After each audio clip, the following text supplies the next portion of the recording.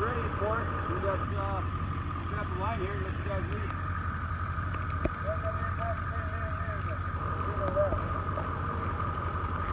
Okay.